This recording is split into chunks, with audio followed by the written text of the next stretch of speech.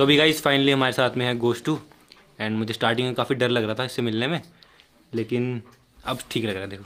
अब मेरे मुँह के पा, पास भी है। वीडियो वीडियो में काफ़ी छोटा सा लगता है लेकिन रियलिटी में देखो मेरे मुँह से ही बड़ा इसका मुँह है। डर तो अभी भी लग रहा है मुझे थोड़ा बहुत। नो